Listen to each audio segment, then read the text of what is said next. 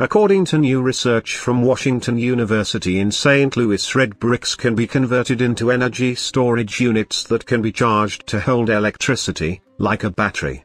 Brick has been used in walls and buildings for thousands of years, but rarely has been found fit for any other use. Now, chemists in arts and sciences have developed a method to make or modify smart bricks that can store energy until required for powering devices. While some architects and designers have recognized the humble brick's ability to absorb and store the sun's heat, this is the first time anyone has tried using bricks as anything more than thermal mass for heating and cooling.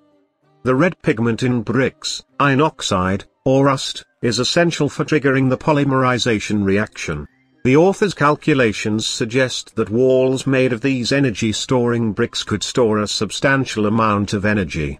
A common material makes an ideal and inexpensive starting point for chemical synthesis. A study published August 7 in Advanced Functional Materials highlights new methods developed by D'Arcy and collaborators at Washington University's Institute of Materials Science and Engineering. Assistant Professor of Chemistry Julio D'Arcy and colleagues, including Washington University graduate student Hongmin Wang, first author of the new study, showed how to convert red bricks into a type of energy storage device called a supercapacitor.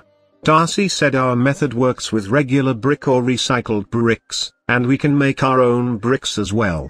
As a matter of fact, the work that we have published in Nature Communications stems from bricks that we bought at Home Depot right here in Brentwood in Missouri.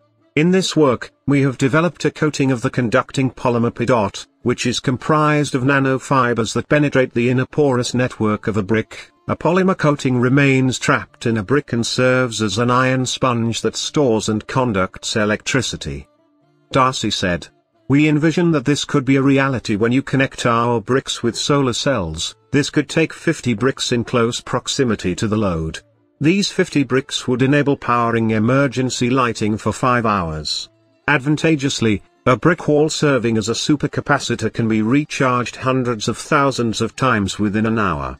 If you connect a couple of bricks, microelectronics sensors would be easily powered.